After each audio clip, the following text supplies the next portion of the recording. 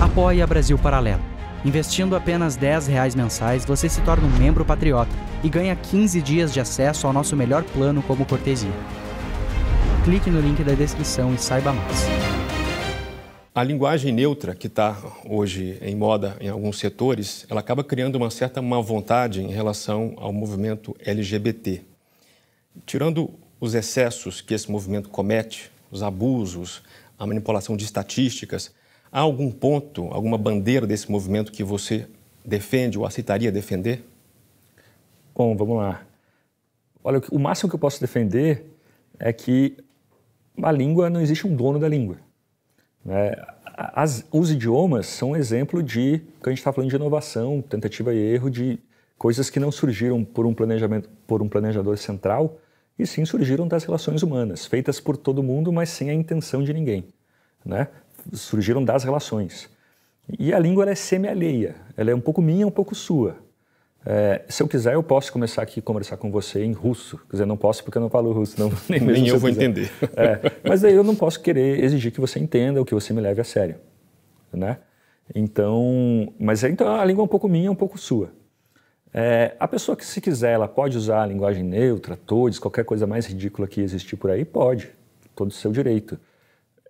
Ela tem, ela tem obriga eu tenho a obrigação de levá-la a sério? Não, de forma alguma.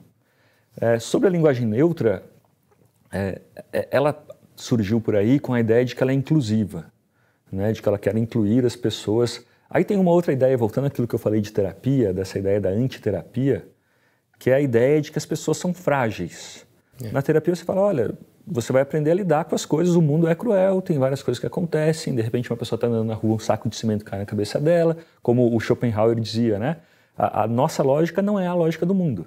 Então, quando uma lógica encontra outra, o resultado é sofrimento. A gente se debate contra a lógica do mundo. E é, a terapia mostra que você tem que ser forte. Você mostra encarar o mundo de uma forma mais, uh, mais uh, resistente, né? E já a justiça social fala, não, a pessoa ela é de cristal, ela vai quebrar se você não chamar ela de todes. Desculpa, não vai. É, num programa que eu estava na Jovem Pan o ano passado, a gente entrevistava vários transexuais. E eu perguntava para eles, o que, que você acha de linguagem neutra, todes e tal? E eles falavam, isso é uma bobagem, meu irmão. Isso é uma bobagem, eu tenho um problema muito maior para me preocupar. Então, a minha opinião sobre isso é, a linguagem neutra, ela se vende como inclusiva, mas na verdade ela é excludente.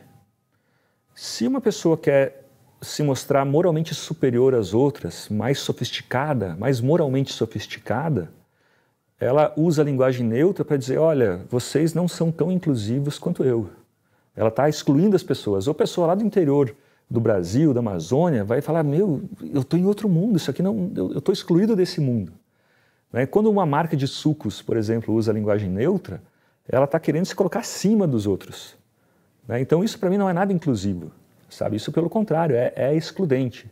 Tem um, um intelectual americano que ele usa a expressão ideias de luxo que é antigamente a gente usava bolsa de marca para parecer uma pessoa de luxo, um carro e tal, e hoje as pessoas estão usando ideias. Então tem algumas ideias que me colocam acima dos mortais, dos réis cidadãos, né, dos populares. Linguagem neutra é uma delas.